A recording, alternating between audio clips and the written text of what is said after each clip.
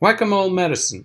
You've got your neurologist for your brain, your cardiologist for your heart, nephrologist for your kidneys. And unfortunately, all of that's completely wrong. That's what leads us into whack-a-mole medicine.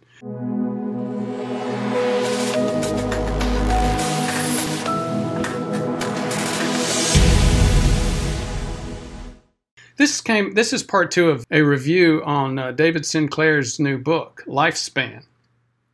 It's I think in chapter three, close to the end of it, and he uses the term too. He didn't create this term. It's something I've covered in other videos, especially the videos, for example, about TAME, targeting aging with metformin.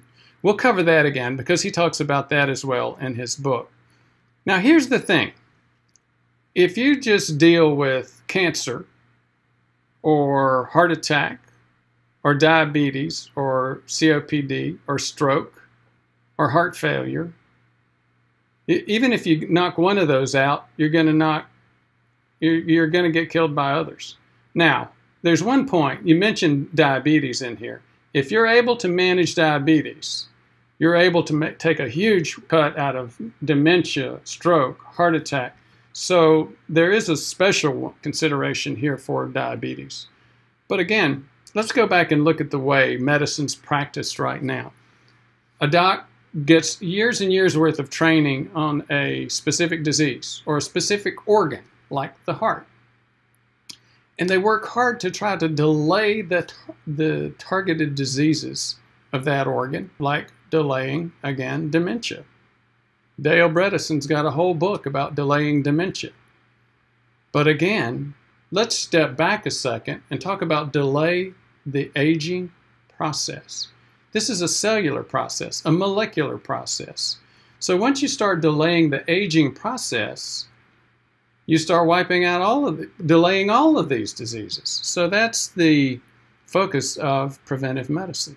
That's what I do. And I'm not the only one doing this. Again, and, and Sinclair's not the only one talking about this. You see it with several people. We'll talk about that in just a minute. So again, as you begin to look at these diseases and look at lifespan, age itself is the strongest risk factor for all of these chronic or age-related diseases.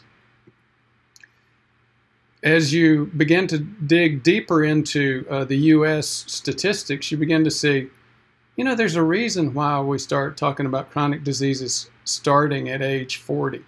The actual molecular processes start younger than that. And that's one of the unfortunate things about my practice.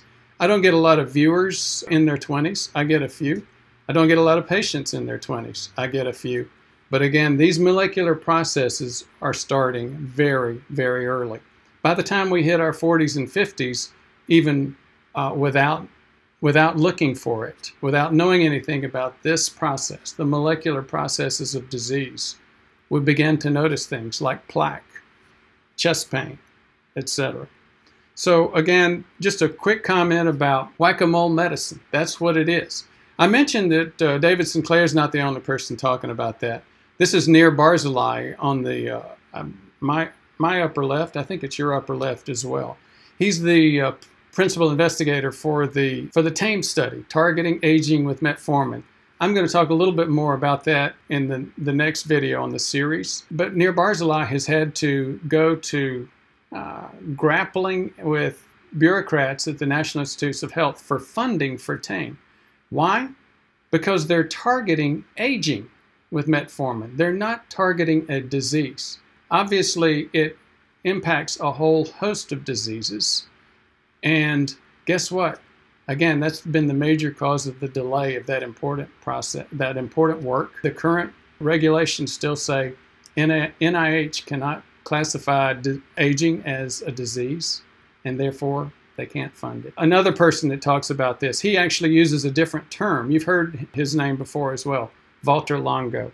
So thank you very much for your interest. We'll get into some other concepts like the TAME study in uh, other videos.